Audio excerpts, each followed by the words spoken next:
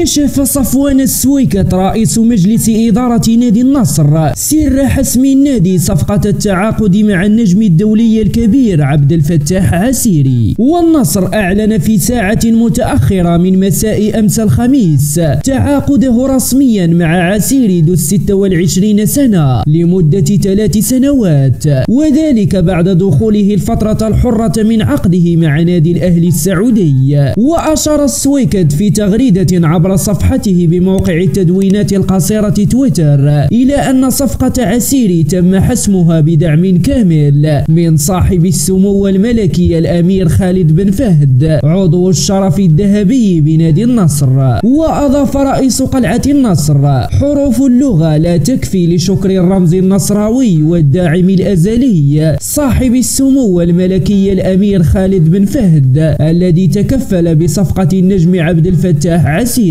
ورحب السويكت بعسيري داخل صفوف نادي النصر قائلا. مرحبا بك يا عبد الفتاح ضمن كوكبة العالميين. جدير بالذكر أن عسيري رابع صفقة يحسمها النصر لتدعيم صفوف الفريق الأول لكرة القدم. في الموسم الجديد بعد كل من الحارس الاتحادي أمين بخاري ومتوسط الميدان الشاب عبد المجيد الصليهم وصانع ألعاب القيصومة سلطان العنزي. ووجه عبد العزيز بوغلوف عضو شرف نادي النصر رسالة ترحيب إلى اللاعب عبد الفتاح عسيري حيث نشر بوغلوف عبر حسابه الشخصي بموقع التدوينات القصيرة تويتر رسالة جاءت كالتالي مرحبا بالنجم عبد الفتاح عسيري في معقل العالميين. كل الشكر للداعم الكبير ولإدارة العالمي. وإن شاء الله توفق الإدارة في شراء الفترة المتبقية من العقد. وتبقى علاقة النصر بشقيقه الأهلي علاقة مميزة ومتينة. شاركنا رأيك في التعليقات ولا تنسى دعمنا بلايك والاشتراك في القناة ليصلك كل خبر جديد.